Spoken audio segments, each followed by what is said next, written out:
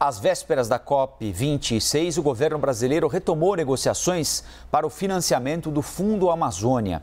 O vice-presidente Hamilton Mourão esteve com o embaixador da Noruega para falar sobre a gestão do fundo. Enquanto isso, empresários brasileiros tentam tirar do governo federal um compromisso pelo meio ambiente. A reportagem é de Tiago Américo. A pauta do encontro foi o Fundo Amazônia. O vice-presidente Hamilton Mourão recebeu o recém-possado embaixador da Noruega, Odd Magnerud. Em um post no Twitter, o norueguês diz que foi uma boa reunião. Na saída, ele afirmou que os dois países têm algumas discordâncias sobre o Fundo Amazônia, mas que há diálogo. O Brasil precisa de um plano concreto para o desmatamento. Precisa concordar com o estilo de gestão do comitê, completou. O Fundo Amazônia foi criado em 2008 para ajudar o combate ao desmatamento na região. A Noruega era a principal financiadora, responsável por mais de 90% dos recursos. Em 2019, o governo de Jair Bolsonaro acabou com o Comitê Orientador do Fundo Amazônia, o COFA, e desde então o dinheiro está parado.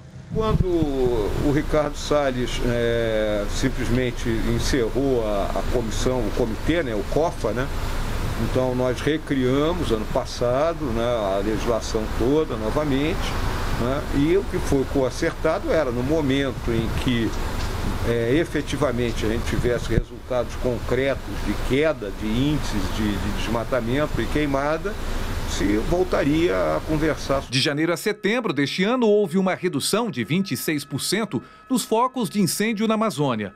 Mas, de acordo com o Instituto de Pesquisa Ambiental da Amazônia, a queda se deve mais às chuvas, que neste ano se anteciparam do que às ações do governo. Na próxima quinta-feira, o vice-presidente Hamilton Mourão vai se reunir com o ministro do Meio Ambiente, Joaquim Leite. O encontro servirá para discutir o que o Brasil de fato vai apresentar na COP26, que acontece no fim do mês em Glasgow, na Escócia. O evento é considerado crucial para controlar as mudanças climáticas no mundo. Já se sabe que um dos temas em pauta do governo brasileiro será o fim do desmatamento ilegal até 2030.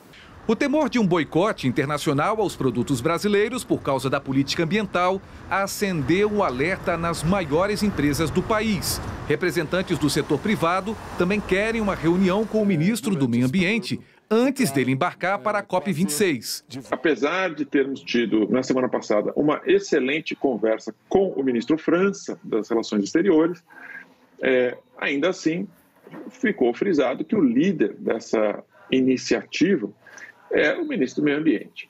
Há duas semanas, o Conselho Empresarial Brasileiro para o Desenvolvimento Sustentável, que reúne quase metade do PIB brasileiro, divulgou uma carta se comprometendo a reduzir as emissões de gases de efeito estufa até 2025. A insegurança do empresariado está na dúvida sobre qual postura o governo federal adotará sobre a questão ambiental.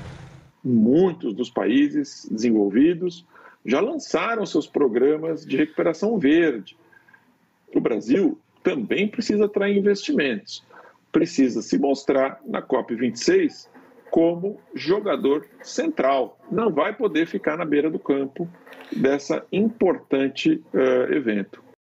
Nós procuramos o Ministério do Meio Ambiente para comentar o pedido de reunião dos empresários, mas até agora não tivemos resposta.